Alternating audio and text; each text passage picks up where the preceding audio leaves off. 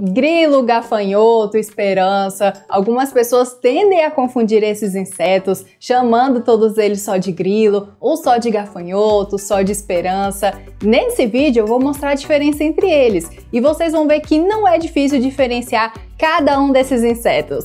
Segura essa curiosidade que eu vou te contar agora!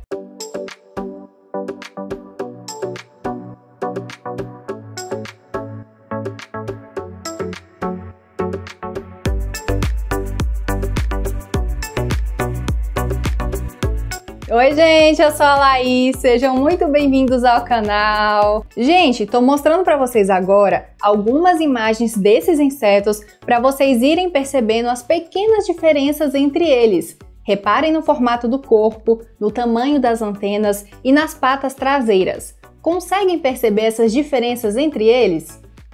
Os grilos, gafanhotos e esperanças pertencem à ordem Orthoptera e existem mais de 33 mil espécies deles conhecidas pelo mundo. É muita espécie mesmo. E 1.480 espécies ocorrem aqui no Brasil. Esses insetos são conhecidos pelo comportamento de pular, eles possuem as patas traseiras bem desenvolvidas e bem adaptadas justamente para isso, e eles também são conhecidos pela capacidade de emitir sons quando eles esfregam alguma parte do corpo. Esse comportamento é chamado de estridulação. E a estridulação é produzida quando eles esfregam uma asa na outra ou quando eles esfregam as patas traseiras nas asas, gerando assim o som. Geralmente eles emitem esses sons mais no período da noite. E agora, gente, vamos falar sobre a diferença entre cada um deles e no final vou fazer um quiz bem rapidinho para vocês verem que já conseguem identificar cada um desses insetos. Vamos começar falando então sobre as esperanças. As esperanças têm essa coloração verde na maioria das espécies, mas algumas podem ter uma coloração marrom com diferentes tonalidades. Agora, reparem bem no formato das asas.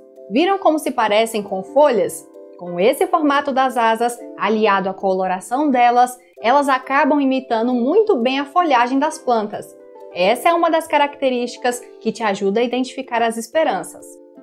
Outro ponto para notar nas esperanças é o tamanho das antenas. As antenas delas são muito longas, chegam a ser duas vezes maiores que o comprimento do próprio corpo. Além disso, as esperanças emitem sons esfregando as asas uma na outra. E é válido dizer que as esperanças têm hábitos diurnos e noturnos, então a gente pode encontrar as esperanças ativas nesse período. E a maioria é herbívora, mas algumas podem se alimentar de insetos. Tranquilinho identificar as esperanças?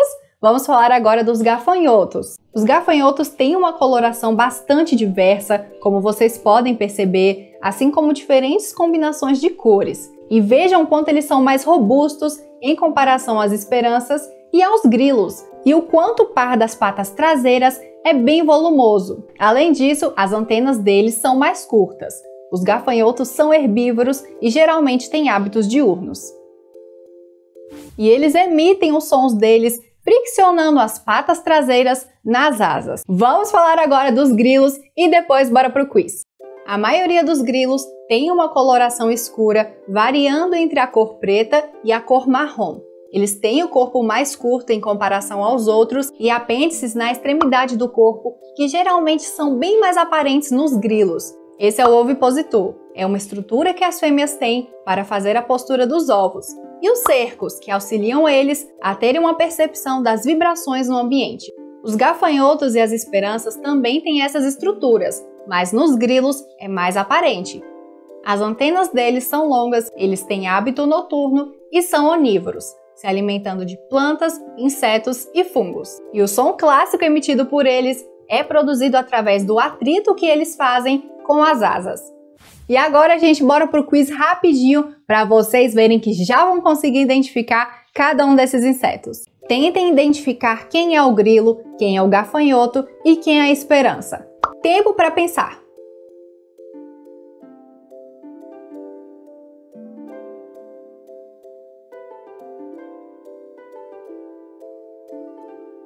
Pensaram? A resposta é essa.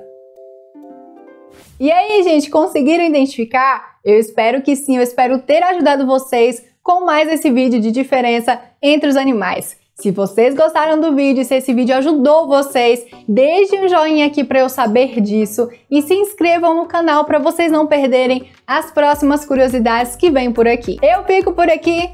Beijão para vocês, até o próximo vídeo. Tchau!